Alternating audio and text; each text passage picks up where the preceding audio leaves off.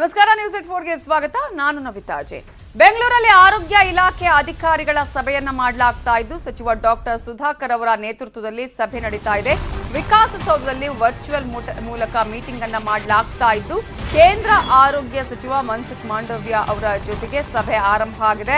ವಿಕಾಸಸೌಧದಲ್ಲಿ virtual ಮೂಲಕ meeting ಅನ್ನ ಈಗ ಮಾಡಲಾಗ್ತಾ ಇದೆ.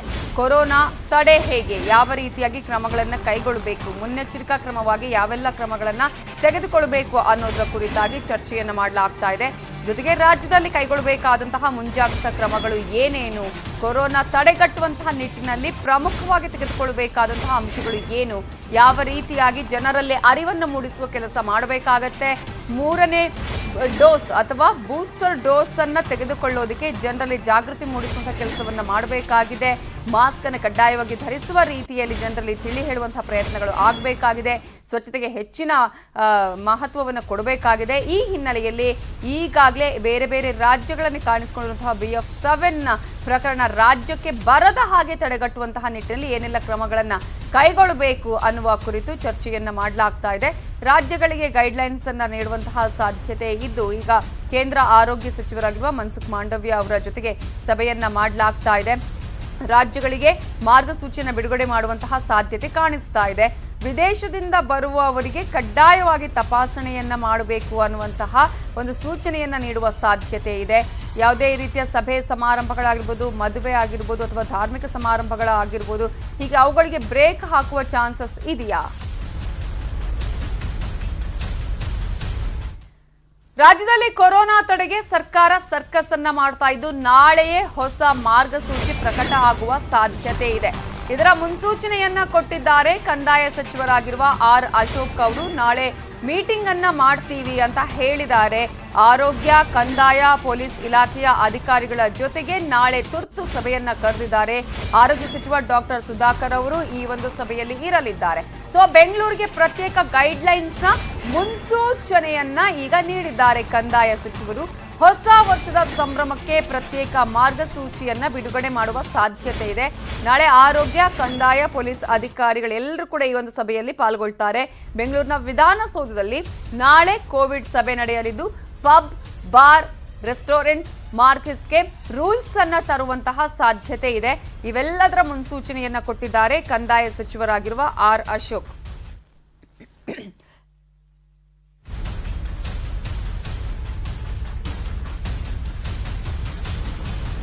ಇವೆಲ್ಲದರ ಬಗ್ಗೆ ಇನ್ನಷ್ಟು ಡೀಟೇಲ್ಸ್ ಕೊಡೋದಕ್ಕೆ ನಮ್ಮ ರಿಪೋರ್ಟರ್ ಆಶಿಕ್ ಮುಲ್ಕಿ ನೇರ ಸಂಪರ್ಕದಲ್ಲಿದ್ದಾರೆ. ಆಶಿಕ್ ಮುಲ್ಕಿ, ಈಗ ಕೇಂದ್ರ ಆರೋಗ್ಯ ಸಚಿವರಾಗಿರುವ ಮನ್ಸುಖ್ ಮಾಂಡವಿ ಅವರ ಜೊತೆಗೆ ಸುಧಾಕರ್ ಅವರು ಹಾಗೆ ಅಧಿಕಾರಿಗಳು ಸಭೆ ಮಾಡ್ತಾ ಇದ್ದಾರೆ. ಏನು ಗೈಡ್ಲೈನ್ಸ್ ಕೊಡುವ ಸಾಧ್ಯತೆ ಇದೆಯಾ? ಪ್ರತ್ಯೇಕ ರಾಜ್ಯಗಳಿಗೆ ಗೈಡ್ಲೈನ್ಸ್ ನೀಡುವ ಸಾಧ್ಯತೆ ಇದೆಯಾ? ನಾಳಿನ ಮೀಟಿಂಗ್ ಕೂಡ ಬಹಳ ಮಹತ್ವದ್ದು ಅಂತ.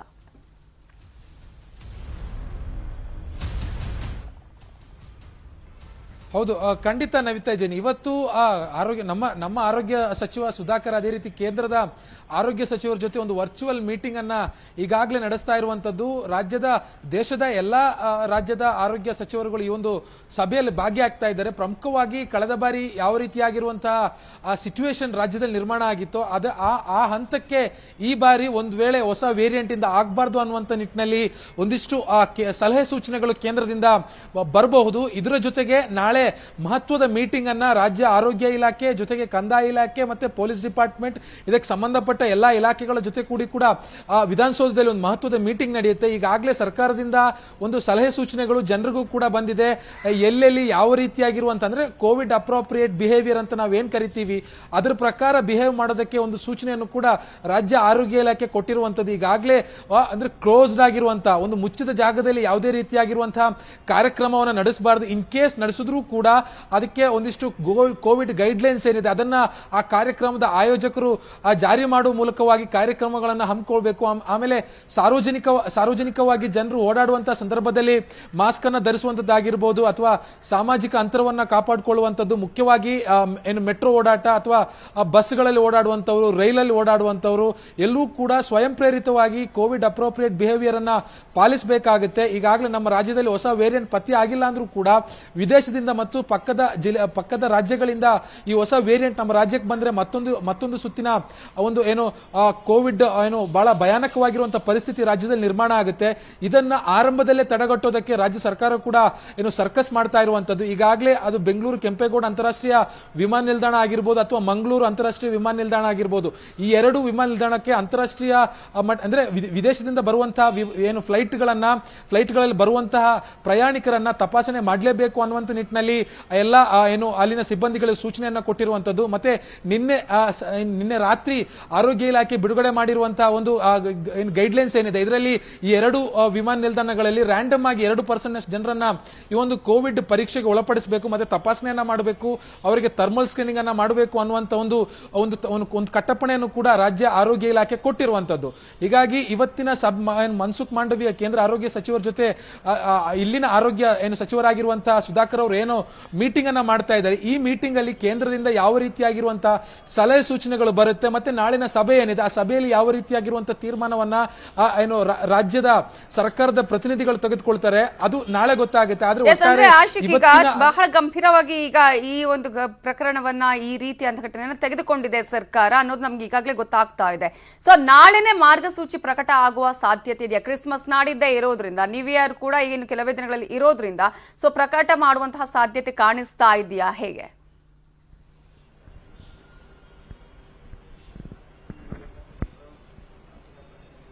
ಖಂಡಿತ ನವಿತಾ ಜೈನ್ ಅಂದ್ರೆ ಏನು, ನಾಳಿನ ಸಭೆ ಬಳಿಕ ಒಂದಿಷ್ಟು ಹೆಚ್ಚುವರಿ ಗೈಡ್ಲೈನ್ಸ್ ಅನ್ನ ಸರ್ಕಾರ ಕೊಟ್ಟರು ಕೊಡಬಹುದು ಯಾಕಂತ ಹೇಳಿದ್ರೆ ನೀವು ಈಗಾಗಲೇ ಹೇಳಿದ್ರಿ, ಇನ್ನೊಂದು ಒಂದೆರಡು ದಿನಗಳಲ್ಲಿ ಕ್ರಿಸ್ಮಸ್ ಹಬ್ಬ ಇದೆ. ಅದಾಗಿ ನಾಲ್ಕೈದು ದಿನಗಳಿಗೆ ಮತ್ತೆ ಹೊಸ ವರ್ಷ ಆಚರಣೆ ಇದೆ. ಈ ಸಂದರ್ಭಗಳಲ್ಲಿ ಒಂದಿಷ್ಟು ಏನು ಹಾಟ್ಸ್ಪಾಟ್ಗಳು ಏನು ಸಾಮಾನ್ಯವಾಗಿ ನಿರ್ಮಾಣ ಆಗುತ್ತೆ. ಈ ಹಾಟ್ಸ್ಪಾಟ್ಗಳಲ್ಲಿ ಯಾವ ರೀತಿಯಾಗಿರುವಂತಹ ರೂಲ್ಸ್ ಅಂಡ್ ರೆಗ್ಯುಲೇಷನ್ಸ್ ಗಳನ್ನ ಇಂಪ್ಲಿಮೆಂಟ್ ಮಾಡಬೇಕು, ಯಾವ ರೀತಿಯಾಗಿರುವಂತಹ ಕಟ್ಟೆಚ್ಚರವನ್ನ ತೆಗೆದುಕೊಳ್ಬೇಕು, ಅವೆಲ್ಲವೂ ಕೂಡ ನಾಳಿನ ಸಭೆಯ ಬಳಿಕ, ಏನು, ಬಹಿರಂಗ ಆಗುತ್ತೆ. ಅದರಲ್ಲೂ ಮುಖ್ಯವಾಗಿ ಬೆಂಗಳೂರು, ಅಂದ್ರೆ ರಾಜ್ಯದ ಇತರೆ ಜಿಲ್ಲೆಗಳು ಒಂದ್ ಕಡೆ ಆದ್ರೆ ಬೆಂಗಳೂರು ನಗರ ಜಿಲ್ಲೆ ಏನು ಮತ್ತೊಂದು ಕಡೆ ಕಳೆದ ಒಂದು, ಎರಡು, ಮೂರು ಕೋವಿಡ್ ಅಲೆಯಲ್ಲೂ ಕೂಡ ಯಾವ ರೀತಿಯಾಗಿರುವಂತಹ ಸಿಚುವೇಶನ್ ಬೆಂಗಳೂರು ನಗರದಲ್ಲಾಗಿತ್ತು. ಹೀಗಾಗಿ ಬೆಂಗಳೂರಿಗೆ ವಿಶೇಷವಾಗಿರುವಂತಹ ಒಂದು ಗೈಡ್ಲೈನ್ಸ್ ಜಾರಿ ಆಗುವಂತಹ ಸಾಧ್ಯತೆಗಳು ದಟ್ಟ ಆಗಿರುವಂತದ್ದು ಪ್ರಮುಖವಾಗಿ ಏನು ಹೊಸ ವರ್ಷಾಚರಣೆ ಆಗಿರ್ಬೋದು, ಮತ್ತೆ ಕ್ರಿಸ್ಮಸ್ಗೆ ನಗರದ ಒಂದಿಷ್ಟು ದೊಡ್ಡ ದೊಡ್ಡ ಏನು ಚರ್ಚ್ಗಳಲ್ಲಿ ಜನಸಂಖ್ಯೆ, ಜನಸಂದಣಿ ಹೆಚ್ಚಾಗುತ್ತೆ. ಈ ಸಂದರ್ಭದಲ್ಲೂ ಕೂಡ ಸಾಮಾಜಿಕ ಅಂತರ ಆಗಿರ್ಬೋದು, ಅಥವಾ ಮಾಸ್ಕ್ ಅನ್ನ ಧರಿಸುವಂತದ್ದು ಇವೆಲ್ಲವನ್ನು ಕೂಡ ಟ್ಯೂನ್ ಔಟ್ ಮಾಡೋದಕ್ಕೆ ಯಾವ ರೀತಿಯಾಗಿರುವಂತಹ ಕ್ರಮವನ್ನು ತೆಗೆದುಕೊಳ್ಬೇಕು? ಬಿಬಿಎಂಪಿ ಮಾರ್ಷಲ್ಗಳಿದ್ದಾರೆ ಬಿಬಿಎಂಪಿ ಸಿಬ್ಬಂದಿಗಳಿದ್ದಾರೆ, ಮತ್ತೆ ಪೊಲೀಸ್ ಇಲಾಖೆ ಟ್ರಾಫಿಕ್ ಪೊಲೀಸ್ ಇಲಾಖೆ, ಇವರೆಲ್ಲರನ್ನು ಕೂಡ ಯಾವ ರೀತಿಯಾಗಿ ಸಮರ್ಪಕವಾಗಿ ಬಳಸ್ಕೋಬಹುದು ಅನ್ನುವಂಥ ನಿಟ್ಟಿನಲ್ಲಿ ನಾಳಿನ ಸಭೆ ಮಹತ್ವವನ್ನು ಪಡೆದುಕೊಂಡಿರುವಂತದ್ದು. ಈ ಬಾರಿಯ ಕ್ರಿಸ್ಮಸ್ ಮತ್ತೆ ಹೊಸ ವರ್ಷ ಏನು ಹೊಸ ವರ್ಷ ನ್ಯೂ ಇಯರ್ ಸೆಲೆಬ್ರೇಷನ್ಗೆ ಒಂದಿಷ್ಟು ರೂಲ್ಸ್ ಅಂಡ್ ರೆಗ್ಯುಲೇಷನ್ಸ್ ಅಂತೂ ಬೀಳೋದು ಈಗಾಗಲೇ ದಟ್ಟ ಆಗಿದೆ. ಅದು ನಾಳಿನ ಸಭೆ ಬಳಿಕ ಬಹಿರಂಗ ಆಗುತ್ತೆ ನವಿತಾ. ಅಂದ್ರೆ ಈಗ ನಿನ್ನೆಯ ಗೈಡ್ಲೈನ್ಸ್ ಕೂಡ ಒಂದಷ್ಟು ವಿಚಾರಗಳನ್ನ ಹೇಳಿದೆ. ಇಮ್ಯುನಿಟಿಗಾಗಿ ಏನ್ ಮಾಡಬೇಕಾಗುತ್ತೆ? ಬೂಸ್ಟರ್ ಡೋಸ್ ವಿಚಾರ ಅಂತ ಹೇಳಿ. ಸೊ ಅದರ ಸಿದ್ಧತೆಗಳು ಯಾವ ರೀತಿಯಾಗಿ ಮಾಡಿಕೊಂಡಿದೆ ಹಾಗಾದ್ರೆ ರಾಜ್ಯ?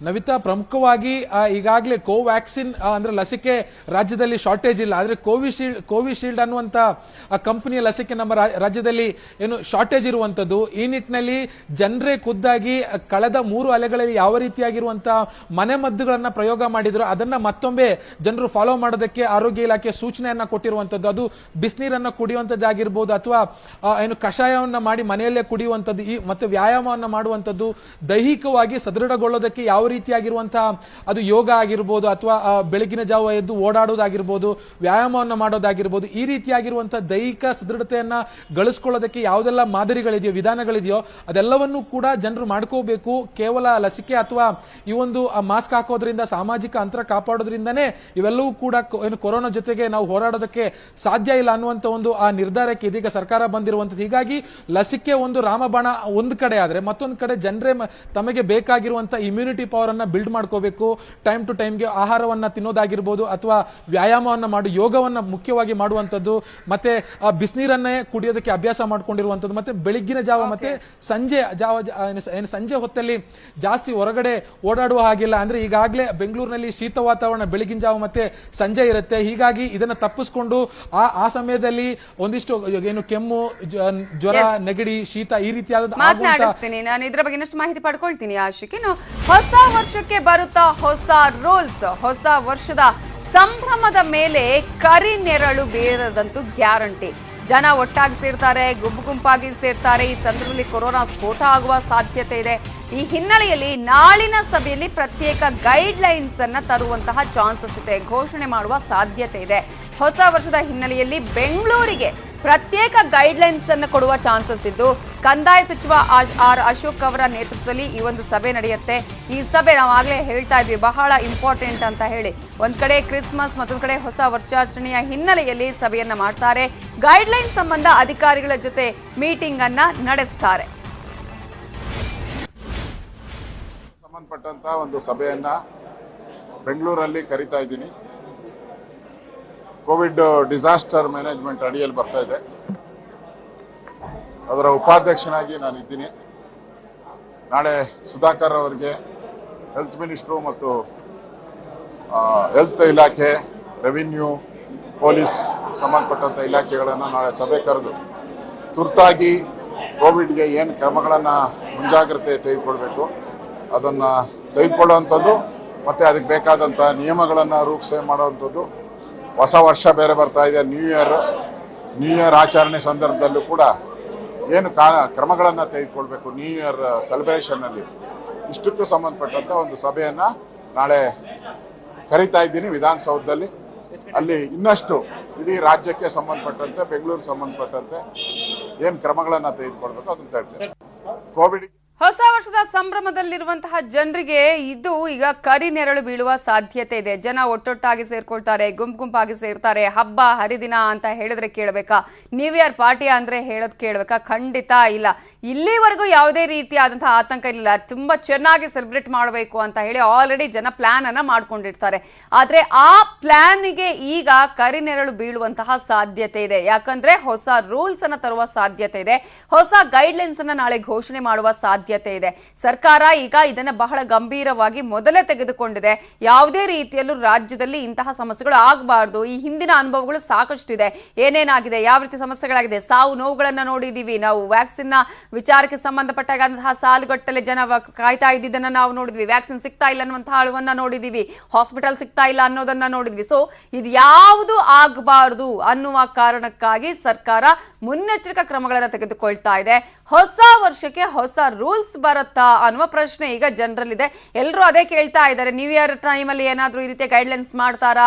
ಜನ ಗುಂಪು ಗುಂಪಾಗಿ ಸೇರಬಾರ್ದು ಅನ್ನುವಂಥ ರೀತಿ ರೂಲ್ಸ್ ಮಾಡಿದ್ರೆ ಏನಪ್ಪ? ಈಗಾಗಲೇ ನಾವು ನ್ಯೂ ಇಯರ್ಗೆ ಹೊಸದಾಗಿ ಒಂದು ರೀತಿಯ ಸೆಲೆಬ್ರೇಟ್ ಮಾಡಬೇಕು ಅಂತ ಅಂದ್ಕೊಂಡಿದ್ವಿ ಅಂತ ಆರೋಗ್ಯಕ್ಕಿಂತ ಯಾವುದೂ ದೊಡ್ಡದಲ್ಲ. ನಮ್ಮ ಆರೋಗ್ಯವನ್ನು ನಾವೇ ಕಾಪಾಡ್ಕೊಳ್ಬೇಕು. ನಮ್ಮ ಕುಟುಂಬದವರ ಆರೋಗ್ಯವನ್ನು ನಾವೇ ಕಾಪಾಡ್ಕೊಳ್ಬೇಕಾಗತ್ತೆ. ಈ ನಿಟ್ಟಿನಲ್ಲಿ ಎಲ್ಲವೂ ಆದಮೇಲೆ ನಾವು ದೂರೋದಕ್ಕಿಂತ ಮೊದಲೇ ಮುನ್ನೆಚ್ಚರಿಕಾ ಕ್ರಮಗಳನ್ನು ತೆಗೆದುಕೊಂಡು ಆಹಾರ ಆರೋಗ್ಯವನ್ನ ಕಾಪಾಡಿಕೊಳ್ಬೇಕು, ಜೊತೆಗೆ ಇಡೀ ಒಂದು ರಾಜ್ಯದಲ್ಲಿ ಯಾವ ರೀತಿ ಸಮಸ್ಯೆಗಳು ಆಗದ ಹಾಗೆ ನೋಡ್ಕೊಳ್ಬೇಕು ಅನ್ನುವ ನಿಟ್ಟಿನಲ್ಲಿ ಸರ್ಕಾರ ಈಗ ನಾಳೆ ಮಹತ್ವದ ಮೀಟಿಂಗ್ ಅನ್ನ ಕರೆದಿದೆ. ಇದರ ಬಗ್ಗೆ ಇನ್ನಷ್ಟು ಡೀಟೇಲ್ಸ್ ಕೊಡೋದಕ್ಕೆ ನಮ್ಮ ರಿಪೋರ್ಟರ್ ಶರಣು ಹಂಪಿ ನ್ಯೂಸ್ ಡೆಸ್ಕ್ ಇಂದ ನೇರ ಸಂಪರ್ಕದಲ್ಲಿದ್ದಾರೆ. ಶರಣು, ಈಗ ಬೆಂಗಳೂರಿಗೆನೆ ಬೇರೆ ರೀತಿಯಾದಂತಹ ಹೊಸ ಗೈಡ್ಲೈನ್ಸ್ ಅನ್ನ ತರೋದಕ್ಕೆ ಹಾಗಾದ್ರೆ ಸಿದ್ಧತೆಗಳು ನಡೆದಿದೆಯಾ? ಹೇಗೆ? ನಾಳಿನ ಮೀಟಿಂಗ್ ನಂತರ ಗೈಡ್ಲೈನ್ಸ್ ಹೊರಬೀಳುವ ಸಾಧ್ಯತೆ ಇದೆ ಹಾಗಾದ್ರೆ. ಖಂಡಿತ ನೋಯ್ತಾ, ಯಾಕಂದರೆ ಮೊದಲು ಆರಂಭದಲ್ಲಿ ಅಂದರೆ ಎರಡು ದಿನಗಳ ಮುಂಚಿತವಾಗಿ B B M chief commissioner Tushar Girinath ಅವರು ಹೇಳಿದ್ದು ಪ್ರತ್ಯೇಕವಾದಂಥ ನಿಯಮಗಳನ್ನು ಅಥವಾ ಪ್ರತ್ಯೇಕವಾದಂಥ ಮಾರ್ಗಸೂಚಿಗಳನ್ನು ಹೊರಡಿಸಿ ಅಂತೇಳಿ ನಾವೇನು ಮನವಿ ಮಾಡ್ಕೊಳ್ಳೋದಿಲ್ಲ. ಆದರೆ ಕೋವಿಡ್ ತಾಂತ್ರಿಕ ಸಲಹಾ ಸಮಿತಿ ಈ ಬಗ್ಗೆ ಅಭಿಪ್ರಾಯವನ್ನು ವ್ಯಕ್ತಪಡಿಸಿದೆ. ಯಾಕಂದರೆ ಬೆಂಗಳೂರಿನಲ್ಲಿ ಜನಸಂಖ್ಯೆಯೂ ಕೂಡ ಜಾಸ್ತಿ ಮತ್ತು ಕ್ರಿಸ್ಮಸ್ ಮತ್ತು ನ್ಯೂ ಇಯರ್ಗೆ ಜಾಸ್ತಿ ಜನಸಂದಣಿನೂ ಕೂಡ ಸೇರುತ್ತೆ. ಉತ್ತಮವಾದಂಥ ಸೆಲೆಬ್ರೇಷನ್ನು ಕೂಡ ಇರುತ್ತೆ. ಕಳೆದ ಮೂರು ವರ್ಷಗಳಿಂದನೂ ಕೂಡ ಕೋವಿಡ್ ಕಾರಣಕ್ಕಾಗಿ ಸೆಲೆಬ್ರೇಷನ್ನು ಕೂಡ ಆಗಿದ್ದಿಲ್ಲ. ಈ ಬಾರಿ ಬೇರೆ ಬೇರೆ ಸಂಘಟಕರು, ಆಯೋಜಕರು, ಅದರಲ್ಲೂ ಕೂಡ M G road Brigade road church ಸ್ಟ್ರೀಟಲ್ಲಿ ವಿವಿಧ ರೀತಿಯಾಗಿ ವಿಜೃಂಭಣೆಯಿಂದ ಸೆಲೆಬ್ರೇಷನ್ ಮಾಡಲಿಕ್ಕೆ ಮುಂದಾಗಿದ್ದರು ಸೊ ಈ ಹಿನ್ನೆಲೆಯಲ್ಲಿ ಈಗ ಕರೋನಾ ಕರೋನಾ ಚೀನಾ ಸೇರಿದಂತೆ ವಿಶ್ವದ ಬೇರೆ ಬೇರೆ ದೇಶಗಳಲ್ಲಿ ಕರೋನಾ ಕೇಸಸ್ ಹೆಚ್ಚಳ ಆಗ್ತಾ ಇದೆ. ಅದರ ಹಿನ್ನೆಲೆಯಲ್ಲಿ ನಾವು ಮುನ್ನೆಚ್ಚರಿಕಾ ಕ್ರಮಗಳನ್ನು ತೆಗೆದುಕೊಳ್ಳೋದು ಅನಿವಾರ್ಯ ಮತ್ತು ಎಚ್ಚರಿಕೆ ತೆಗೆದುಕೊಳ್ಳೋದು ಕೂಡ ಅನಿವಾರ್ಯ ಅನ್ನೋ ಕಾರಣಕ್ಕಾಗಿ ಕೆಲವೊಂದಷ್ಟು ಷರತ್ತುಬದ್ಧ ನಿಯಮಗಳನ್ನು ರೂಪಿಸಬೇಕಾಗತ್ತೆ ಅಂಥೇಳಿ ಬಿ ಬಿ ಎಂ ಪಿ ಮಾಹಿತಿಯನ್ನು ನೀಡಿತು ಇದರ ಹಿನ್ನೆಲೆಯಲ್ಲಿ ಇವತ್ತು ನಡೆಯುವಂಥ ಸಭೆ ಮತ್ತು ನಾಳೆ ನಡೆಯುವಂಥ ಸಭೆ ಎರಡು ಸಭೆಗಳಲ್ಲೂ ಕೂಡ ಮಹತ್ವವಾಗಿ ಬೆಂಗಳೂರಿನಲ್ಲಿ ಪ್ರತ್ಯೇಕವಾದಂಥ ಮಾರ್ಗಸೂಚಿಗಳನ್ನು ಹೊರಡಿಸುವಂಥ ಸಾಧ್ಯತೆ ಹೆಚ್ಚಾಗಿದೆ. ಈಗಾಗಲೇ ಆರೋಗ್ಯ ಇಲಾಖೆ ಕೆಲವೊಂದಷ್ಟು ಗೈಡ್ಲೈನ್ಸನ್ನು ಕೂಡ ನೀಡಿದೆ ಜನರಲ್ ಆಗಿ ಅಂದರೆ ಒಳಾಂಗಣದಲ್ಲಿ ಹೇಗಿರಬೇಕು ಮತ್ತು ಹೊರಾಂಗಣದಲ್ಲಿ ಹೇಗಿರಬೇಕು. ಮಾಸ್ಕನ್ನು ಆಸ್ಪತ್ರೆಗಳಲ್ಲಿ ಕಡ್ಡಾಯ ಕಡ್ಡಾಯ ಮಾಡಿರೋದು ಬಿಟ್ಟರೆ ಇನ್ನುಳಿದಂತೆ ಮಾಸ್ಕ್ಗಳನ್ನು ಹಾಕ್ಕೊಳ್ಳೋದು ಉತ್ತಮ ಅನ್ನುವಂಥ ಅಭಿಪ್ರಾಯವನ್ನು ವ್ಯಕ್ತಪಡಿಸಿದ್ದಾರೆ. ಇನ್ನೊಂದು ವಾರದಲ್ಲಿ ಕರೋನಾ ಕೇಸಸ್ ಹೇಗೆ ಜಾಸ್ತಿ ಆಗುತ್ತೆ ಅನ್ನೋದರ ಬೇಸ್ ಮೇಲೆ ಮತ್ತಷ್ಟು ಮಾರ್ಗಸೂಚಿಗಳನ್ನು ಹೊರಡಿಸ್ಬೋದು. ಆದರೆ ಇಪ್ಪತ್ತೈದನೇ ತಾರೀಕು ಕ್ರಿಸ್ಮಸ್ ಇದೆ ಮತ್ತು ಒಂದನೇ ತಾರೀಕು ನ್ಯೂ ಇಯರ್ ಇರೋದ್ರಿಂದಾಗಿ ಇವತ್ತು ಸಂಜೆ ಅಥವಾ ನಾಳೆಗೆ ಮತ್ತಷ್ಟು ಬೆಂಗಳೂರಿನಲ್ಲಿ ನ್ಯೂ ಇಯರ್ ಹಿನ್ನೆಲೆಯಲ್ಲಿ ಮಾರ್ಗಸೂಚಿ ಹೊರಡಿಸುವಂಥ ಸಾಧ್ಯತೆ ಹೆಚ್ಚಾಗಿ ಕಂಡುಬರ್ತಾ ಇದೆ. ನವಿತಾ. ಥ್ಯಾಂಕ್ ಯು ಶರಣ್ ಹಂಪಿ ಡೀಟೇಲ್ಸ್ಗೆ ಎರಡನೇ ಇನ್ನಿಂಗ್ಸ್ ರಾಜಕೀಯಕ್ಕೆ ಜನಾರ್ದನ ರೆಡ್ಡಿ ರೆಡಿ. ಡಿಸೆಂಬರ್ ಇಪ್ಪತ್ತೈದಕ್ಕೆ ಹೊಸ ಪಕ್ಷದ ಸ್ಥಾಪನೆಗೆ ರೆಡ್ಡಿ ಸಿದ್ಧತೆಯನ್ನ ಮಾಡಿಕೊಂಡಿದ್ದಾರೆ. ಅದಕ್ಕೆ ಬೇಕಾದಂತಹ ಎಲ್ಲಾ ಪೂರ್ವ ಸಿದ್ಧತೆಗಳು ಈಗ ನಡೆದಿದೆ. ಪಕ್ಷವನ್ನ ಘೋಷಣೆ ಮಾಡೋದಷ್ಟೇ ಬಾಕಿ ಇರುವಂತದ್ದು ಈ ಹಿನ್ನೆಲೆಯಲ್ಲಿ ಈಗಾಗಲೇ ಪಕ್ಷ ಘೋಷಣೆ ಮಾಡೋದಕ್ಕಿಂತ ಮುಂಚೆ ಅವರ ನಿರ್ಧಾರ ಏನು ಅನ್ನೋದನ್ನ ತಿಳಿಸುವುದಕ್ಕಿಂತ ಮುಂಚೆ ಮಠ ಮಾನ್ಯಗಳಿಗೆ ಭೇಟಿ ಕೊಟ್ಟಿದ್ದಾರೆ, ದೇವಸ್ಥಾನಗಳಿಗೆ ಭೇಟಿ ಕೊಟ್ಟಿದ್ದಾರೆ, ಟೆಂಪಲ್ ರನ್ ಮಾಡಿದ್ದಾರೆ. ಈ ಹಿನ್ನೆಲೆಯಲ್ಲಿ ಬಿಜೆಪಿ ಹಿರಿಯರು ಮಾಡಿದಂತಹ ಮನವೊಲಿಕೆಗೂ ಬಗ್ಗದೆ ತನ್ನ ಎರಡನೇ ರಾಜಕೀಯ ಇನ್ನಿಂಗ್ಸ್ ಅನ್ನು ಶುರು ಮಾಡುವುದಕ್ಕೆ ಜನಾರ್ದನ ರೆಡ್ಡಿ ಎಲ್ಲಾ ರೀತಿಯಲ್ಲೂ ಸಿದ್ಧತೆ ಮಾಡಿಕೊಂಡಿದ್ದಾರೆ. ಆಪ್ತ ಸ್ನೇಹಿತ ರಾಮುಲು ಮಾತಿಗೂ ರೆಡ್ಡಿ ಒಪ್ತಿಲ್ವಂತೆ ಕಲ್ಯಾಣ ಕರ್ನಾಟಕ ಭಾಗದಲ್ಲಿ ರೆಡ್ಡಿ ಅಭ್ಯರ್ಥಿಗಳು ಕಣಕ್ಕಿಳಿಯುವಂತಹ ಸಾಧ್ಯತೆ ಇದೆ. ಜನಾರ್ದನ ರೆಡ್ಡಿ ನಡೆಯಿಂದ ಬಿಜೆಪಿ ನಾಯಕರಿಗೆ ಟೆನ್ಷನ್ ಉಂಟಾಗಿದೆ. ಈಗ ಈ ಒಂದು ನಿರ್ಧಾರ ಯಾವ ರೀತಿಯಾಗಿ ಬಿಜೆಪಿಗೆ ಅದು ಪ್ರಾಬ್ಲಮ್ ಆಗ್ಬೋದು? ಆದರೆ ಬೇರೆ ಬೇರೆ ರೀತಿಯ ರಾಜಕೀಯ ಲೆಕ್ಕಾಚಾರಗಳು ನಡೀತಾ ಇದೆ. ಒಂದ್ ಕಡೆ ಈಗ ಬಿಜೆಪಿಗೆ ಸೇರ್ಪಡೆಗೊಳಿಸಬೇಕಾ ಬೇಡವಾ ಅನ್ನೋ ನಿಟ್ಟಿನಲ್ಲಿ ಹೈಕಮಾಂಡ್ ಜೊತೆ ಶ್ರೀರಾಮುಲು ಸೇರಿದಂತೆ ಅನೇಕ ಬಿಜೆಪಿ ನಾಯಕರು ಸೇರಿದಂತೆ ಮಾತನಾಡಿದ್ರು ರೆಡ್ಡಿ ಅವರ ಎರಡನೇ ರಾಜಕೀಯ ಇನ್ನಿಂಗ್ಸ್ಗೆ. ಬಟ್ ಈಗ ಹೊಸ ಪಕ್ಷವನ್ನ ಮಾಡೋದು ಪಕ್ಕಾ ಅಂತ ಹೇಳಲಾಗ್ತಿದೆ. ವೆಲ್ಕಮ್ ಬ್ಯಾಕ್ ಸಚಿವ ಹಾಲಪ್ಪ ಆಚಾರ್ ಅವರ ಕ್ಷೇತ್ರದಲ್ಲಿ ಜೋಪಡಿಗಳಲ್ಲೇ ಜನರು ವಾಸ ಮಾಡ್ತಿದ್ದಾರೆ. ಯಲಬುರ್ಗಾ ಕ್ಷೇತ್ರದಲ್ಲಿ ಮನೆಗಳಿಲ್ಲದೆ ಗುಡಿಸಲಿನಲ್ಲೇ ಕುಟುಂಬಗಳು ವಾಸ ಮಾಡ್ತಾ ಇದ್ದು, ಸುಮಾರು ಹದಿನೈದರಿಂದ ಇಪ್ಪತ್ತು ವರ್ಷದಿಂದ ಜೋಪಡಿಗಳಲ್ಲೇ ಕುಟುಂಬ ವಾಸಿಸ್ತಾ ಇದೆ. ಯಲಬುರ್ಗಾ ಬಸ್ ನಿಲ್ದಾಣದ ಪಕ್ಕದಲ್ಲಿ ಈ ಕುಟುಂಬಗಳು ವಾಸವಾಗ್ತಾ ಇದ್ದು, ಚನ್ನದಾಸರು, ರಾಮಕುಂಡಡಿಗಳು, ಹಗಲು ವೇಷಧಾರಿಗಳು ಪರದಾಟವನ್ನ ಮಾಡಿದ್ದಾರೆ. ಸುಮಾರು ಹದಿನೈದಕ್ಕೂ ಅಧಿಕ ಕುಟುಂಬಗಳು ಈ ಜೋಪಡಿಗಳಲ್ಲೇ ಈಗಲೂ ವಾಸವನ್ನ ಮಾಡ್ತಾ ಇವೆ. ಈಗ ಯಾರ್ಯಾರಿಗೆ ಮನೆ ಇಲ್ಲ ಅಂಥವರಿಗೆ ಆಶ್ರಯ ಯೋಜನೆಯಲ್ಲಿ ಮನೆಯನ್ನು ಕಟ್ಟಿಸಿಕೊಡ್ತೀವಿ, ವಸತಿ ಯೋಜನೆಯಲ್ಲಿ ನಾವು ಮನೆಯನ್ನು ಕಟ್ಟಿಸಿಕೊಡ್ತೀವಿ ಅಂತ ಸರ್ಕಾರ ಹೇಳಿದ್ರು ಕೂಡ, ಅದು ಯಾರ್ಯಾರಿಗೆ ತಲುಪಬೇಕೋ ಅವರಿಗೆ ತಲುಪಿಲ್ಲ ಅನ್ನೋದಕ್ಕೆ ಇಂತಹ ಒಂದು ಘಟನೆಗಳೇ ಸಾಕ್ಷಿ ಅಂತ ಹೇಳಬೇಕಾಗತ್ತೆ. ಹದಿನೈದರಿಂದ ಇಪ್ಪತ್ತು ವರ್ಷದಿಂದಲೂ ಈ ಕುಟುಂಬಗಳಿದೆಯಲ್ಲ, ಇವರೆಲ್ಲರೂ ಜೋಪಡಿಗಳಲ್ಲೇ ವಾಸವನ್ನ ಮಾಡ್ತಿದ್ದಾರೆ, ಯಾವುದೇ ರೀತಿಯ ಸೌಲಭ್ಯಗಳಿಲ್ಲ. ನಾವೇನ್ರಿ ಮಂದಿ ರೀ ನಾವು ಏನು ಮಾಡ್ಬೇಕು ಗುಡಿಸಲ್ದಾಗ ಜಪ್ಪ ಇರ್ತೀವಿ ರೀ. ಮೂರು ಒಲಿಗೊಂಡು ಹುಟ್ಟಿ ಹಿಡ್ಕೊಂಡು ನಾವು ಅಡುಗೆ ಮಾಡ್ಕೊಂಡು ತಿಂತೀವಿ ರೀ ನಮ್ಮ ಮನೆ ಇಲ್ಲ ಮಾರಿಲ್ಲ ಇದು ಮಳೆಯಾಗ ಬೀಳ್ತೀವಿ ನೋಡ್ರಿ ಸರ್ ನೀವು ಮನೆ ಮಾಡಿದ್ರೆ ನಾವು ಇರ್ತೀವಿ. ಅವು ಕೊಡ್ತೀವಿ ಅಂತಾರೆ ಹ್ಞೂ ಅಂತ ಸುಮ್ಮನೆ ಇರ್ತಾರೆ. ಮತ್ತು ಇಟ್ಟಿಗೆ ಎಂ ಎಲ್ ಎ ಕಡೆನೂ ಹೋಗಿ ಹೋಗಿ ಬಂದ್ರಿ ಒಂದು ಐದಾರು ಸಲ ಅಡ್ಡಾಡಿದ್ವಿ ಅವರು ತೀರ್ಕೊಂಬಿಟ್ರು.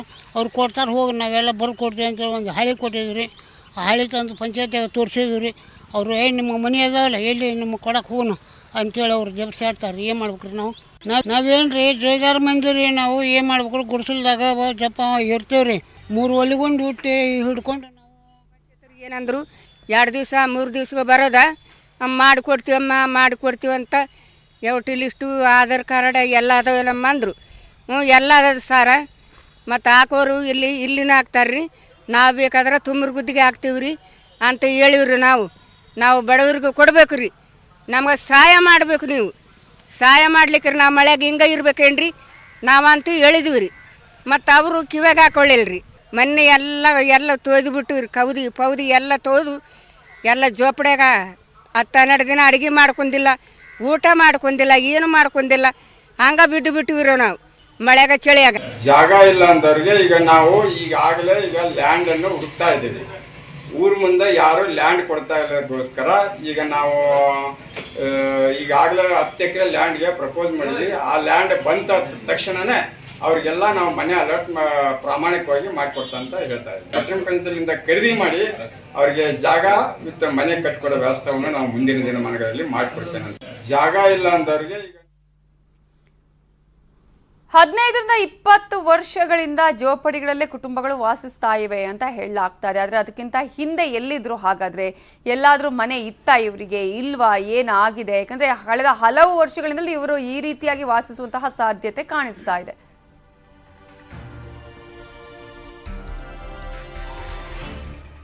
ಇದರ ಬಗ್ಗೆ ಮಾತನಾಡೋದಕ್ಕೆ ಕೊಪ್ಪಳದ ಅಲೆಮಾರಿ ಸಮುದಾಯದ ಜಿಲ್ಲಾಧ್ಯಕ್ಷರಾಗಿರುವ ಸಂಜಯ್ ದಾಸ್ ಅವರು ನಮ್ಮ ಜೊತೆ ಫೋನ್ ಸಂಪರ್ಕದಲ್ಲಿದ್ದಾರೆ. ನಮಸ್ತೆ. ನಮಸ್ತೆ ಮೇಡಮ್. ಸಂಜಯ್ ದಾಸ್ ಅವರೇ ಈಗ ಈ ಒಂದು ಅನೇಕ ಕುಟುಂಬಗಳಿದಿಲ್ಲ ಒಂದು ಆಲ್ಮೋಸ್ಟ್ ಅನೇಕ ಕುಟುಂಬಗಳು ಹದಿನೈದಕ್ಕೂ ಅಂತ ಅನ್ಕೊಳ್ತೀವಿ ನಾವು. ಅಲ್ಲಿ ಜೋಪಡಿಲೇ ವಾಸವನ್ನ ಮಾಡ್ತಾ ಇದ್ದಾರೆ. ಯಾರು ಕೂಡ ಅವರಿಗೆ ಸಹಾಯ ಮಾಡ್ತಾ ಇಲ್ವಾ? ಸರ್ಕಾರದ ಯೋಜನೆಗಳು ಅವ್ರನ್ನ ತಲುಪ್ತಾ ಇಲ್ವಾ? ಸರ್ಕಾರಕ್ಕೆ ಇವ್ರ ಕಣ್ಣಿಗೆ ಕಾಣಿಸಿಲ್ವಾ ಅನ್ನುವ ಪ್ರಶ್ನೆ. ಮೇಡಮ್ ಇವಾಗ ಸದ್ಯದ ಪರಿಸ್ಥಿತಿಯಲ್ಲಿ ಅಲೆಮಾರಿಗಳ ಬದುಕು ಬಹಳ ಹೀನಾಯವಾಗಿ ಕಾಣ್ತಾ ಇದೆ ಮೇಡಮ್. ಇರೋದಕ್ಕೆ ಮನೆ ಇಲ್ಲ ಮೇಡಮ್ ಆ ಮನೆ ಜಾಗ ಇದ್ರು ಮನೆ ಕಟ್ಸ್ಕೊಳ್ಳುವಂತ ಶಕ್ತಿ ಇಲ್ಲ. ಆ ಮನೆ ಕಟ್ಕೊಳಕಂತೇಳಿ ಜಾಗ ಇದೆಯಾ? ಜಾಗ ಈ ನಮ್ಮ ಜಾಗ ಇಲ್ಲ ಮೇಡಮ್ ಈಗ ನೂರಲ್ಲಿ ಒಂದ್ ಹತ್ತು ಪರ್ಸೆಂಟ್ ಜನದ್ದು ಜಾಗ ಇರುತ್ತೆ ಮೇಡಮ್. ಆ ಜಾಗ ಇದ್ದವ್ರಿಗೆ ಮನೆ ಕಟ್ಕೊಳಕ್ ಕೊಡ್ತೀವಿ ಅಂತೇಳಿ ಫಸ್ಟ್ ಒಂದು ಸ್ಕೀಮ್ ಮಾಡಿದ್ರು ಮೇಡಮ್. ಅದ್ರ ಅಪ್ಲಿಕೇಶನ್ ಹಾಕಿದೀವಿ. ಅಪ್ಲಿಕೇಶನ್ ಹಾಕಿದ್ರು ನಿಷ್ಪ್ರಯೋಜಕ ಆಗಿತ್ತು ಮೇಡಮ್. ಆಯಾ ಭಾಗದ ಜಿಲ್ಲಾ ವ್ಯವಸ್ಥಾಪಕರು ಏನಿದ್ದಾರೆ ಮೇಡಮ್ ಅವರು ಒಂದ್ ಕಣ್ಣಿಗೆ ಬೆಣ್ಣೆ ಒಂದ್ ಕಣ್ಣಿಗೆ ಸುಣ್ಣ ಅನ್ನೋ ರೀತಿಯಲ್ಲಿ ನಡೀತಾ ಇದೆ ಮೇಡಮ್. ಆಮೇಲೆ ಭೂ ಒಡೆತನ ಯೋಜನೆಯಲ್ಲಿ ನಮ್ಗೆ ನಿರಾಶ್ರಿತ ನಿರಾಶ್ರಿತರಾದಂತ ನಮ್ಮ ಅಲೆಮಾರಿಗಳಿಗೆ ಎರಡು ಎಕರೆನೋ ಒಂದ್ ಎಕರೆನೋ ಆಯಾ ಭಾಗದ ಒಂದು ನಿಗದಿತ ಬೆಲೆ ಮೇಲೆ. ಕೊಡಿಸ್ಬೇಕಂತ ಸರ್ಕಾರ ಆದೇಶ ಮಾಡಿದೆ ಮೇಡಮ್. ಆದೇಶ ಬಿದ್ರು ಕೂಡ ಅಲೆಮಾರಿಗಳಿಗೆ ಇದುವರೆಗೂ ಕೂಡ ಯಾವುದೇ ರೀತಿಯ ಒಂದು ಆ, ಭೂ ಭೂ- ಭೂಮಿ ಯೋಜನೆ ಇದುವರೆಗೂ ದೊರಕಿಲ್ಲ ಮೇಡಮ್. ಸಂಜಯ್ ದಾಸ್ ಅವರೇ ಹಾಗೆ ಹಾಗೆ ಸಂಪರ್ಕದಲ್ಲಿರಿ. ನಮ್ಮ ಜೊತೆ ಈಗ ಯಲಬುರ್ಗಾದ ಅಧ್ಯಕ್ಷರ ಪಟ್ಟಣ ಪಂಚಾಯತ್ ಯಲಬುರ್ಗಾದ ಅಧ್ಯಕ್ಷರಾಗಿರುವ ಅಮರೇಶ್ ಹುಬ್ಬಳ್ಳಿ ಅವರು ಫೋನ್ ಸಂಪರ್ಕದಲ್ಲಿದ್ದಾರೆ. ಅಮರೇಶ್ ಹುಬ್ಬಳ್ಳಿ ಅವರೀಗ ಸಂಜಯ್ ದಾಸ್ ಅವರು ಮಾತನಾಡ್ತಾ ಇದ್ರು. ಕೆಲವರಿಗೆ ಜಾಗ ಇದೆ ಆದ್ರೆ ಮನೆ ಕಟ್ಕೊಡುವಂತಹ ಪರಿಸ್ಥಿತಿ ಇಲ್ಲ ಆ ತರದ ಪರಿಸ್ಥಿತಿನ ತಂದಿಲ್ಲ ಅಂತ ಹೇಳಿ. ನೀವು ಹೇಳ್ತಾ ಇದ್ರಿ ಆಗ್ಲೇ ಮಾತಾಡುವಾಗ ಅಂತಂದ್ರೆ ಜಾಗನೇ ಇಲ್ಲ ಅಂತ ಹೇಳಿ. ಮೇಡಮ್ ಅವರೇ ಈ ಇವಾಗ ನಾವು ಅಧ್ಯಕ್ಷ ಆದ್ಮೇಲೆ ನಮ್ಮ ಜನಪ್ರಿಯ ಸಚಿವರು ಆಲಾಪ್ ಅಚಾರಿ ಅವ್ರು ಬಂದ್ಮೇಲೆ ಹ್ಮ್ ನಲ್ವತ್ ಮೂರು ಮನೆಗಳು ಇಲ್ಲೇ ಸ್ಲಮ್ ಮನೆ ಬಂದಿದ್ದಾವ್ರೆ. ಹ್ಮ್. ಎಸ್ ಸಿ ಎಸ್ ಟಿ ಅವರು ಅರವತ್ತೈದು ಸಾವಿರ ರೂಪಾಯಿ ತುಂಬಿದ್ರಪ್ಪ ಅಂತಂದ್ರೆ ಆರು ಲಕ್ಷ ನಲ್ವತ್ತು ಸಾವಿರ ರೂಪಾಯಿ ಒಂದು ಮನೆ ಕಟ್ಕೊಡ್ತಾ ಇದ್ರು. ಹ್ಮ್. ಈ ಜನರೆಲ್ಲರ ತೊಂಬತ್ತೇಳು ಸಾವಿರದ ಐದ್ನೂರು ರೂಪಾಯಿ ಕಟ್ಟಿದ್ರು ಅಂತಂದ್ರೆ ಅವ್ರಿಗೂ ಕೂಡ ಆರು ಲಕ್ಷ ನಲ್ವತ್ತು ಸಾವಿರ ರೂಪಾಯಿ ಮನೆ ಒಂದು ಒಳ್ಳೆ ಸುಸಜ್ಜಿತವಾದ ಮನೆ ಕಟ್ಕೊಡ್ದ ಕಟ್ ಕೊಡ್ಕೊಡ್ತಿದ್ವಿ ಹ್ಮ್. ಮತ್ತೆ ಈಗ ಬೇರೆ ನಮ್ಮ ಮನೆ ಅಂತೇಳಿ ಏಳ್ನೂರು ಮನೆಗಳು ಬಂದಿದಾವ್ರಿ. ಈಗ ಜಾಗ ಇದ್ದವ್ರಿಗೆ ಅಲೆಮಾರಿ. ಜನಾಂಗದ ಕತೆ ಏನು? ಅಲೆಮಾರಿ ಅವರು ಈಗ ಈಗ ಅಲೆಮಾರಿ ಜನಾಂಗದವ್ರಿಗೆ ಮೇಡಮ್ ಅವ್ರೆ ನಾವು ಈಗ ಯಾರಿಗೆ ಜಾಗ ಇಲ್ಲ. ಹ್ಮ್. ಅವ್ರಿಗೆ ನಾವಿಲ್ಲ ಊರು ಮುಂದೆ ಲ್ಯಾಂಡ್ ಈಗ ಹುಡ್ಕ ಹುಡುಕ್ತಾ ಇದೀವ್ರಿ ಹ್ಮ್. ಊರು ಅವರೆಲ್ಲ ಸಮೀಪ ಕೆಲವ್ರ ಜಾಗ ಇದೆ ಅಂತ ಸಂಜಯ್ ದಾಸ್ ಅವರು ಹೇಳ್ತಿದ್ದಾರೆ. ಈ ಜಾಗ- ಈಗ ಜಾಗ ಇದ್ದವ್ರಿಗೆ ನಾವು ಅವ್ರಿಗೆ ಕಟ್ಲಿಕ್ಕೆ ಅವ್ರಿಗೆ ಏನ್ ಅರವತ್ತೈದು ಸಾವಿರ ಸಮಸ್ಯೆ? ರೂಪಾಯಿ ಇಲ್ಲ ಅವರು ಚಲೋ ಇದ್ದಾವ್ರಿ ಮೇಡಮ್. ಅವರಿಗೆಲ್ಲ ಮುನ್ನೂರ ಐವತ್ತು ಮನೆಗಳು ಚಲೋ ಇದಾವೆ ಇಲ್ಲಿ. ಹ್ಮ್. ನಾವು ಯಾರು ಡಿ ಡಿ ತುಂಬಿ ಅರವತ್ತೈದು ಸಾವಿರ ರೂಪಾಯಿ ತುಂಬಿದಾರೆ. ಅವ್ರಿಗೆ ಆರು ಲಕ್ಷ ನಲವತ್ತು ನಲವತ್ತು ಸಾವಿರ ರೂಪಾಯಿ ಮನೆ ಕಟ್ಕೊಳ್ಳಕ್ಕೆ ಈಗೆಲ್ಲ ಇಲ್ಲೇ ಈಗೆಲ್ಲ ಈಗ ಮುನ್ನೂರು ಮನೆ ಚಲೋ ಇದಾವೆ ಇಲ್ಲಿ. ಹ್ಮ್. ಈಗ ಅವ್ರು ಯಾರು- ನಾವೇ ನೋಡಿದ್ವಿ. ಈಗ ಅವ್ರು ಮಾತಾಡ್ಸಿದ್ರೆ ಅನೇಕರು ಇದ್ರು ಅಲ್ಲಿ ಕುಟುಂಬಗಳನ್ನ ನೋಡಿದ್ವಿ. ಹದಿನೈದರಿಂದ ಇಪ್ಪತ್ತು ಕುಟುಂಬಗಳು ಇದೆ ಅವ್ರು ಹೇಳ್ತಾರೆ ಹದಿನೈದರಿಂದ ಇಪ್ಪತ್ತು ವರ್ಷ ಆಯ್ತು. ಒಬ್ರು ಬರ್ತಾರೆ ಹೋಗ್ತಾರೆ. ಮತ್ತೆ ಯಾರು ಕೂಡ ನಮ್ಗೆ ಮನೆ ಕಟ್ಟಿ ಕೊಡ್ತಾ ಇಲ್ಲ ಅಂತ ಹೇಳ್ತಿದ್ದಾರೆ ಅವರು. ಮೇಡಮ್ ಅವ್ರ ಅಲೆಮಾರಿ ಜನಾಂಗದವ್ರಿಗೆ ಈಗಾಗಲೇ ಸುಮಾರು ಅವ್ರ ಏರಿಯಾದಲ್ಲೇ ಈಗಲೇ ಸುಮಾರಾಗಿ ಒಂದು ಐವತ್ತು ಮನೆಗಳು ಚಲೋ ಇದಾವ್ರೆ. ಹ್ಮ್. ಈಗ ಉಳಿದಂತವ್ರು ಯಾರು ಮನೆಗಳು ಅವ್ರಿಗೆ ಯಾರ ಜಾಗ ಇದೆ ಅವ್ರ ಯಾರ ಮನೆಗಳಿಲ್ಲ ಅವ್ರಿಗೆ ನಾವೇ ಖುದ್ದಾಗಿ ಹೋಗಿ ಹ್ಮ್. ಯಾರು ಡಿ ಡಿ ತುಂಬ್ತಾರೆ ಅವರಿಗೆ ನಾವು ಇಮ್ಮಿಡಿಯೇಟ್ಲಿ ಮನೆ ಕಟ್ಕೊಡ್ತಾ ಇದ್ದೇವೆ. ಓಕೆ. ಓಕೆ. ಮೇಡಮ್ ಧನ್ಯವಾದಗಳು. ಅಮರೇಶ್ ಹುಬ್ಬಳ್ಳಿ ಅವರೇ ಸಂಜಯ್ ದಾಸ್ ಅವರೇ ನ್ಯೂಸ್ ಏಟಿನ್ ಜೊತೆ ಮಾತನಾಡಿದ್ದಕ್ಕಾಗಿ. ವೆಲ್ಕಮ್ ಬ್ಯಾಕ್ ದಶಪಥ ನಿರ್ಮಾಣದಿಂದಾಗಿ ಹಲವು ಉದ್ಯಮಗಳಿಗೆ ಹೊಡೆತ ಬಿದ್ದಿದೆ. ಚನ್ನಪಟ್ಟಣದ ಬೊಂಬೆ ಉದ್ಯಮಕ್ಕೂ ಬೀಳ್ತಾ ಇದೆ ಹೊಡೆತ. ಗ್ರಾಹಕರಿಲ್ಲದೆ ಮಳಿಗೆಗಳು ಖಾಲಿ ಖಾಲಿಯಾಗಿದೆ. ಈ ಮೂಲಕ ಉದ್ಯಮಕ್ಕೆ ಪೆಟ್ಟು ಬೀಳ್ತಾ ಇದೆ. ದಶಪಥವನ್ನು ನಿರ್ಮಾಣ ಮಾಡ್ತಾ ಇರೋದ್ರಿಂದ ಒಂದು ಕಡೆ ಅಭಿವೃದ್ಧಿಯ ವಿಚಾರಗಳು ಇಲ್ಲಿ ಬರುತ್ತೆ. ರಸ್ತೆ ಚೆನ್ನಾಗಿರಬೇಕು. ಸಾಕಷ್ಟು ರೀತಿಯಾದಂತಹ ಸಮಸ್ಯೆಗಳು ಆಗದ ಹಾಗೆ ನೋಡ್ಕೊಳ್ಬೇಕು ಅನ್ನುವಂತಹ ಯೋಜನೆ ದಶಪಥ ನಿರ್ಮಾಣದಿಂದ ಅನೇಕ ಉದ್ಯಮಗಳ ಮೇಲೆ ಈಗ ಹೊಡೆತ ಬೀಳ್ತಾ ಇರೋದನ್ನ ನಾವು ನೋಡ್ತಾ ಇದೀವಿ. ಪ್ರಮುಖವಾಗಿ ಚನ್ನಪಟ್ಟಣದ ಬೊಂಬೆ ಉದ್ಯಮಕ್ಕೂ ಕೂಡ ಇದರಿಂದಾಗಿ ಈಗ ಹೊಡೆತ ಬೀಳ್ತಾ ಇದೆ. ಗ್ರಾಹಕರಿಲ್ಲದೆ ಮಳಿಗೆಗಳು ಖಾಲಿಯಾಗಿದೆ. ಇದರಿಂದಾಗಿ ಉದ್ಯಮಕ್ಕೆ ಪೆಟ್ಟು ಬೀಳ್ತಾ ಇದ್ದು ಯಾವುದೇ ಭಾಗದಲ್ಲೂ ಅಲ್ಲಿನ ಜನ ಅಲ್ಲಿ ಓಡಾಡಲ್ಲ ಅನ್ನೋದು ಕೂಡ ನಾವಿಲ್ಲಿ ಗಮನಿಸಬೇಕಾಗತ್ತೆ ಸಂದರ್ಭದಲ್ಲಿ.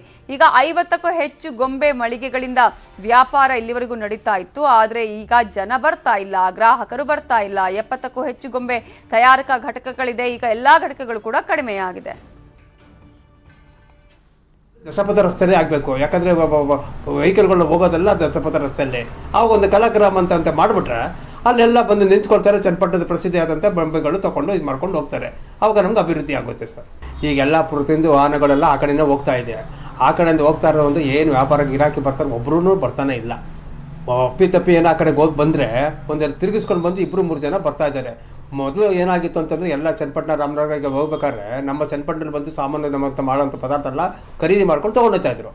ಈಗೇನಾಗಿದೆ ದಶಮಥ ಅದೇ ಹಂಗಾಗಿದೆ. ಈಗ ಯಾವ ಥರ ಮುಂದೆ ಆಗುತ್ತಂದರೆ ಯೋಚನೆ ಆಗೋಗ್ಬಿಟ್ಟಿದೆ. ಸರ್, ಏನಾರ ಸರ್ಕಾರದವರು ನಮ್ಮ ಚನ್ನಪಟ್ಟಣದ ಮುಂದೆ ಒಂದು ಹೋದರೆ ನಮ್ಮ ಕರಕುಶಲ ಅಭಿವೃದ್ಧಿ ಆಗುತ್ತೆ ಅಂತ ನಮ್ಗೆ ಅನಿಸಿಕೆ ಆಗಿದೆ ಸರ್. ಚನ್ ಲೇಯರ್ ಸಿಂಗ್ ಅವರು, ರಾಜ್ಯಸಭಾ ಸದಸ್ಯರಾದವರು ಕೇಂದ್ರ ಸರ್ಕಾರಕ್ಕೆ ಒಂದು ಮನವಿ ಮಾಡಿದ್ದಾರೆ. ಏನಂದರೆ ಚನ್ನಪಟ್ಟಣ ಬೊಂಬೆನ ಉಳಿಸ್ಬೇಕು ಅನ್ನೋ ಅವ್ರ ಉದ್ದೇಶ. ಅದರಿಂದ ಅವರೇನು ಈಗ ಹೆದ್ದಾರಿ ನಡೀತಾ ಇದೆಯಲ್ವಾ?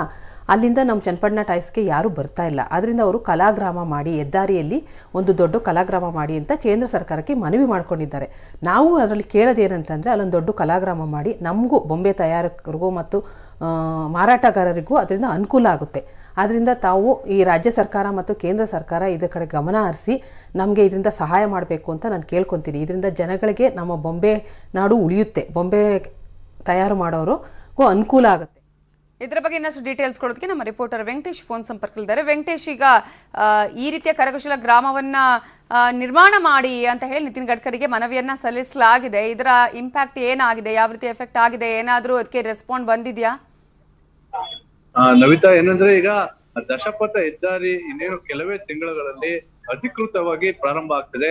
ಇದರಿಂದಾಗಿ ಹಳೆ ಮೈಸೂರು ಭಾಗ, ಅಂದ್ರೆ ರಾಮನಗರ, ಚನ್ನಪಟ್ಟಣ, ಮದ್ದೂರು, ಮಂಡ್ಯ ಸೇರಿದಂತೆ ಈ ಏನು ಪ್ರಮುಖ ವಾಣಿಜ್ಯ ಕೇಂದ್ರಗಳಿದಾವೆ ಅದೆಲ್ಲದಕ್ಕೂ ಕೂಡ ಸಾಕಷ್ಟು ನಷ್ಟ ಆಗ್ತಾ ಇದೆ. ಅದರಲ್ಲೂ ಪ್ರಮುಖವಾಗಿ ಚನ್ನಪಟ್ಟಣದ ಬೊಂಬೆ ಉದ್ಯಮಕ್ಕೆ ಸಾಕಷ್ಟು ನಷ್ಟ ಆಗ್ತಾ ಇದೆ. ಏನು ಸಾವಿರಾರು ಜನ ಕರಕುಶಲ ಕರ್ಮಿಗಳು ಇದರಿಂದಾಗಿ ಬೀದಿಗೆ ಬರುವಂತ ದುಸ್ಥಿತಿ ಈಗ ನಿರ್ಮಾಣ ಆಗಿದೆ. ಏನಂದ್ರೆ ಈಗ ಬೆಂಗಳೂರಿನಿಂದ ಬಂದಂತ ಜನ, ಹಾಗೆ ವಿದೇಶದಿಂದ ಮೈಸೂರು ಕಡೆಗೆ ಪ್ರಯಾಣ ಮಾಡ್ತಾ ಇದ್ದಂತ ಜನ ಚನ್ನಪಟ್ಟಣದ ಮಾರ್ಗವಾಗಿ ಮೈಸೂರು ಕಡೆಗೆ ಪ್ರಯಾಣವನ್ನ ಬೆಳೆಸ್ತಾ ಇದ್ರು. ಅವರು ಮಾರ್ಗ ಮಧ್ಯೆ ಚನ್ನಪಟ್ಟಣದ ಬೊಂಬೆಗಳನ್ನ ಖರೀದಿ ಮಾಡ್ತಾ ಇದ್ರು. ಆದ್ರೆ ದಶಪಥ ಹೆದ್ದಾರಿ ಏನು ಕಾಮಗಾರಿ ಈಗ ಇನ್ನೇನು ಕೆಲವೇ ತಿಂಗಳಲ್ಲಿ ಪ್ರಾರಂಭ ಆಗ್ತಾ ಇದೆ. ಅಂದ್ರೆ ರಸ್ತೆ ಸಂಚಾರಕ್ಕೆ ಅವಕಾಶವನ್ನ ಮಾಡಿಕೊಡ್ಲಾಗ್ತಾ ಇದೆ. ಇದರಿಂದಾಗಿ ಸಾವಿರಾರು ವೆಹಿಕಲ್ಗಳು ದಶಪಥ ಹೆದ್ದಾರಿಯಲ್ಲಿ ಸಂಚಾರವನ್ನ ಮಾಡ್ತಾ ಇದ್ದಾವೆ. ಹಳೆ ಬೆಂಗಳೂರು ಮೈಸೂರು ರಾಷ್ಟ್ರೀಯ ಹೆದ್ದಾರಿಯಲ್ಲಿ ವಾಹನಗಳ ಸಂಖ್ಯೆ ಕಡಿಮೆಯಾಗಿದೆ ಇದರಿಂದಾಗಿ ಬೊಂಬೆ ಉದ್ಯಮಕ್ಕೆ ಹಾಗೆ ಕರಕುಶಲ ಕರ್ಮಿಗಳ ಬದುಕಿಗೆ ಸಾಕಷ್ಟು ತೊಂದರೆ ಆಗ್ತಾ ಇದೆ ಅಂತೇಳಿ ಈಗ ರಾಜ್ಯಸಭಾ ಸದಸ್ಯರಾಗಿರುವಂತ ಲೆಹರ್ ಸಿಂಗ್ ಅವರು ಕೇಂದ್ರ ಸರ್ಕಾರದ ಗಮನವನ್ನ ಸೆಳೆದಿದ್ದಾರೆ. ಹಾಗೆ ಪ್ರಮುಖವಾಗಿ ನಿತಿನ್ ಗಡ್ಕರಿ ಅವರಿಗೆ ಒಂದು ಪತ್ರವನ್ನ ಬರೆದು ದಶಪಥ ಹೆದ್ದಾರಿಯಲ್ಲಿ ಒಂದು, ಆ ಕಲಾಗ್ರಾಮವನ್ನ ಸ್ಥಾಪನೆ ಮಾಡಬೇಕು. ಇದರಿಂದಾಗಿ ಬೊಂಬೆ ಉದ್ಯಮಕ್ಕೆ ನಾವು ಉತ್ತೇಜವನ್ನ ಕೊಡಬೇಕು. ಹಾಗೆ ಕರಕುಶಲ ಕರ್ಮಿಗಳ ಬದುಕಿಗೆ ನೆರವಾಗಬೇಕು ಅಂತ ಹೇಳಿ ಪತ್ರವನ್ನ ಬರೆದಿದ್ದಾರೆ. ಆದ್ರೆ ಈವರೆಗೂ ಕೂಡ ಈ ವಿಚಾರವಾಗಿ ಯಾವುದೇ ಒಂದು ಫಲಪ್ರದ ಆಗಿಲ್ಲ ಆದ್ರೆ ಮುಂದಿನ ದಿನಗಳಲ್ಲಾದ್ರೂ ಈ ಒಂದು ವಿಚಾರವಾಗಿ ಕೇಂದ್ರ ಸರ್ಕಾರ ಹಾಗೆ ರಾಜ್ಯ ಸರ್ಕಾರ ಒಂದು ಗಮನವನ್ನು ಹರಿಸಬೇಕಾಗಿದೆ. ಏನು ಪಾರಂಪರಿಕ ಒಂದು ಕಲೆಯಾಗಿದೆ, ಬೊಂಬೆ ಉದ್ಯಮ, ಅದನ್ನ ಉಳಿಸ್ಬೇಕು ಅಂತೇಳಿ ಚನ್ನಪಟ್ಟಣದ ಕರಕುಶಲ ಕರ್ಮಿಗಳು ಸೇರಿದಂತೆ ಹಾಗೆ ಬೊಂಬೆ ತಯಾರಕರ ಒಂದು ಒಕ್ಕೂಟ ನ್ಯೂಸ್ ಏಟಿನ್ ಮೂಲಕ ಒತ್ತಾಯ ಮಾಡಿದೆ Navita. Okay thank you Venkatesh ಡೀಟೇಲ್ಸ್ಗೆ ದಶಪಥ ರಸ್ತೆ ಸಂಚಾರಕ್ಕೆ ಇನ್ನು ಕೆಲವೇ ದಿನಗಳಲ್ಲಿ ಅವಕಾಶ ಸಿಗುತ್ತೆ. ಈ ಹಿನ್ನೆಲೆಯಲ್ಲಿ ಆ ಭಾಗದ ಜನರಲ್ಲಿ ಈಗ ಯಾರು ಕರಕುಶಲ ಕರ್ಮಿಗಳಿದ್ದಾರೆ? ಈಗ ಆ ಮಾರಾಟವನ್ನ ಮಾಡ್ತಾ ಇದ್ರು. ಆಲ್ಮೋಸ್ಟ್ ಐವತ್ತಕ್ಕಿಂತಲೂ ಹೆಚ್ಚಿನ ವ್ಯಾಪಾರಿಗಳು ಇದ್ರು. ಅವರು ನಷ್ಟವನ್ನ ಅನುಭವಿಸ್ತಾ ಇದ್ದಾರೆ ಅಂತ ಹೇಳಿ ರಾಜ್ಯಸಭಾ ಸದಸ್ಯ ಲೆಹರ್ ಸಿಂಗ್ ಈಗ ಮನವಿಯನ್ನ ನಿತಿನ್ ಗಡ್ಕರಿ ಅವರಿಗೆ ಸಲ್ಲಿಸಿದ್ದಾರೆ. ಇದರ ಬಗ್ಗೆ ಇನ್ನಷ್ಟು ಡೀಟೇಲ್ಸ್ ಮಾತನಾಡೋದಕ್ಕೆ ನಮ್ಮ ಜೊತೆ ಈಗ ಕರಕುಶಲಕರ್ಮಿಯಾಗಿರುವ ಮಾಲಿನಿ ಅವರು ಫೋನ್ ಸಂಪರ್ಕದಲ್ಲಿದ್ದಾರೆ. ಮಾಲಿನಿ ಅವರೇ ಈಗ ನಿತಿನ್ ಗಡ್ಕರಿಗೆ ಪತ್ರ ಸಲ್ಲಿಸಲಾಗಿದೆ. ಭರವಸೆ ಇದೆಯಾ? ಈ ತರ ಒಂದು ಆಗಬಹುದು? ಅಲ್ಲಿ ಕಲಾಗ್ರಾಮವನ್ನ ನಿರ್ಮಾಣ ಮಾಡಬಹುದು ಅಂತ ಹೇಳಿ. ಅಲ್ಲ ಮೇಡಮ್ ಅಲ್ಲ ಏನಂದ್ರೆ ನಮ್ ರಾಜ್ಯ ಸರ್ಕಾರ ಒತ್ತಡ ತರಬೇಕು ಮೇಡಮ್ ಅದಕ್ಕೋಸ್ಕರ. ತಂದ್ರೆ ನಮಗೂ ಅನುಕೂಲ ಆಗುತ್ತೆ. ಯಾಕೆ ಅಂತಂದ್ರೆ ಈಗ ಹೆದ್ದಾರಿ ಆಗಿರಿಂದ ತುಂಬಾ ತೊಂದರೆ ಆಗ್ತಾ ಇದೆ ನಮ್ಗೂನು. ಯಾಕೆಂದ್ರೆ ಜನಗಳಿಗೆ ದಾರಿನೂ ಗೊತ್ತಾಗ್ತಾ ಇಲ್ಲ. ಚನ್ನಪಟ್ಟಣಗೆ ಯಾವ ಕಡೆ ಬರ್ಬೇಕು ಆ ರೋಡ್ ಇಂದ ಒಳಗಡೆ ಹೆಂಗ್ ಬರ್ಬೇಕು ಅಂತ ಗೊತ್ತಾಗ್ತಾ ಇಲ್ಲ. ಎಷ್ಟೋ ಜನ ಐದ್ ಕಿಲೋಮೀಟರ್ ಹತ್ ಕಿಲೋಮೀಟರ್ ಹೋಗಿ ವಾಪಸ್ ಚನ್ನಪಟ್ಟಣಕ್ಕೆ ಬರ್ತಿದ್ದಾರೆ. ಹಂಗಾಗಿ ನಾ ಏನಂದ್ರೆ ಅದನ್ನ ಮಾಡಿದ್ರೆ ನಮಗೂ ಅನುಕೂಲ ಆಗುತ್ತಲ್ವಾ ಮೇಡಮ್ ಈಗ ತುಂಬಾ ನಷ್ಟ ಆಗ್ತಾ ಇದೆಯಾ ಈಗ? ಹೌದು ತುಂಬಾ ನಷ್ಟ ಆಗ್ತಿದೆ ಜನಗಳು ಬರ್ತಾನೆ ಇಲ್ಲ. ವ್ಯಾಪಾರನೇ ಕುಸ್ತೋಗಿದೆ ದಸರಾದಲ್ಲಿ ನಾವ್ ಎಷ್ಟು ವ್ಯಾಪಾರ ಮಾಡ್ತಾ ಇದ್ವಿ. ದಸರಾಯಿಂದ ವ್ಯಾಪಾರನೇ ಕುಸ್ತೋಗ್ತಾ ಇದೆ ಶನಿವಾರ ಭಾನುವಾರ ಆಯ್ತು ಅಂದ್ರೆ ಜನಗಳ ರಜಾ ಇರೋದು ಬರೋರು. ಈಗ ಚನ್ನಪಣ್ಣ ಕಡೆ ಜನನೇ ಬರ್ತಾ ಇಲ್ಲ. ಎಲ್ಲೋ ಅಲ್ಲೊಬ್ರು ಇಲ್ಲೊಬ್ರು ಕೇಳ್ಕೊಂಡ್ ಬರ್ತಿದ್ದಾರೆ. ತುಂಬಾ ನಷ್ಟ ಆಗ್ತಾ ಇದೆ ಮೇಡಮ್ ಇದರಿಂದ. ಹಂಗಾಗಿ ನಾವೇನ್ ಹೇಳಿದ್ರೆ ನಮ್ ರಾಜ್ಯ ಸರ್ಕಾರನು ಒತ್ತಡ ತರಬೇಕು ಅದಕ್ಕೋಸ್ಕರ. ಅಲ್ವಾ ಮೇಡಮ್? ಅವಾಗ ಮಾಡಿದಾಗ ನಮಗೂ ಅನುಕೂಲ ಆಗುತ್ತೆ. ಮತ್ತೆ ಮತ್ ಇನ್ನೊಂದೇನಂದ್ರೆ ಚಾನ್ಸಸ್ ಇದೆ ಇಲ್ಲಿ ಅಂತ ಹೇಳಿ. ಅಲ್ಲ ನಾನೇನ್ ಹೇಳೋದಂತಂದ್ರೆ ಮೇಡಮ್ ಕಲಾಗ್ರಾಮ ಮಾಡೋದಿಚ್ಚಲ್ಲ. ಅದನ್ನ ರೀಸನಬಲ್ ಆಗಿ ಜನಗಳಿಗೆ ಅನುಕೂಲ ಆಗೋ ತರ ಮಾಡ್ಕೊಡ್ಬೇಕು. ಆಯ್ತಾ? ರಾಜಕೀಯ ವ್ಯಕ್ತಿಗಳು ಅವ್ರ ಇವ್ರ ಜೊತೆ ಸೇರ್ಕೊಂಡ್ಬಿಟ್ಟು ಯಾರ್ಯಾರೋ ಈಗ ಕೆಲಸ ಮಾಡದೇ ಇರೋರ್ಗೆಲ್ಲ ಅಲ್ಲಿ ಜಾಗ ಕೊಟ್ಬಿಟ್ರೆ ಸರಿ ಹೋಗಲ್ಲ. ಯಾರ್ ಇದ್ರಲ್ಲಿ ಕೆಲಸ ಮಾಡ್ತಿದಾರೆ ಚನ್ನಪಣ್ಣ ಬೊಂಬೆನ ಅಂತವ್ರಿಗೆ ನೋಡಿ ಅಲ್ಲಿ ಜಾಗಗಳು ಕೊಟ್ಟು ಅದ್ ಮಾಡ್ಬೇಕು ಮೇಡಮ್. ಓಕೆ ಧನ್ಯವಾದಗಳು ಮಾಲಿನಿ ಅವರೇ ನ್ಯೂಸ್ ಏಟಿನ್ ಜೊತೆ ಮಾತನಾಡಿದ್ದಕ್ಕಾಗಿ. ಸೊ ಈಗ ನಿಜವಾಗ್ಲೂ ಯಾರು ಇದನ್ನ ಮಾಡ್ತಾರೆ? ಈ ರೀತಿಯಾದಂಥ ಕೆಲಸವನ್ನ ಮಾಡೋರು ಯಾರು? ಅಂತವರಿಗೆ ಇದರ ಉಪಯೋಗ ಆಗುವ ರೀತಿಯಲ್ಲಿ ಕೆಲಸವನ್ನ ಮಾಡಬೇಕಾಗುತ್ತೆ. ರಾಜ್ಯ ಸರ್ಕಾರ ಒತ್ತಡವನ್ನ ಹೇರಬೇಕು ಅನ್ನೋದು ಇವರೆಲ್ಲರ ಬೇಡಿಕೆ.